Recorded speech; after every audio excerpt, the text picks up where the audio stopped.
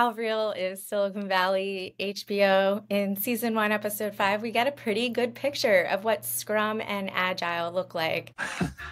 So, from rules based filtering, we go to workflow, at which point that card is moved from the icebox into the in progress column, and it stays there until it is ready for testing.